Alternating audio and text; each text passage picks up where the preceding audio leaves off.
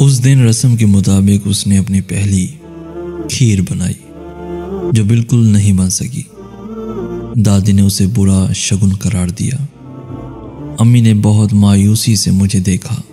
میری بہن نے اسے اس کے ہاتھ میں ذائقے کی کمی کا احساس دلایا۔ ابا نے بھی کھانے سے ہاتھ کھینچ لیے۔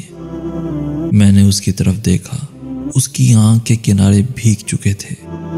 جب میں دودھ لایا تو وہ پھٹا ہوا تھا۔ اس لیے غلطی میری ہے۔ میں نے سب کو مخاطب کرتے ہوئے کہا، سب کی شکایتوں کا رخ میری طرف ہو گیا۔ وہ نظریں نیچی کیے مسکرانے لگی۔ اس کے انداز میں تشکر تھا۔ اور میں نے سوچا، اس گھر میں چھوٹی یا بڑی بات پر کوئی اس کا ساتھ دے یا نہ دے، میں ہمیشہ اس کا ساتھ دوں گا۔ کھیر جیسی بھی بنی ہو، میں اس کا ساتھ دوں گا۔ آج وہ سارے خاندان میں سب سے اچھی کھیر بناتی ہے۔ کہنا تو چاہیے کہ لائک، شیئر اور سبسکرائب کریں۔ مگر مجھے لگتا ہے کہ آپ وہی کریں گے جو آپ کا دل چاہتا ہے۔ تو اللہ حافظ۔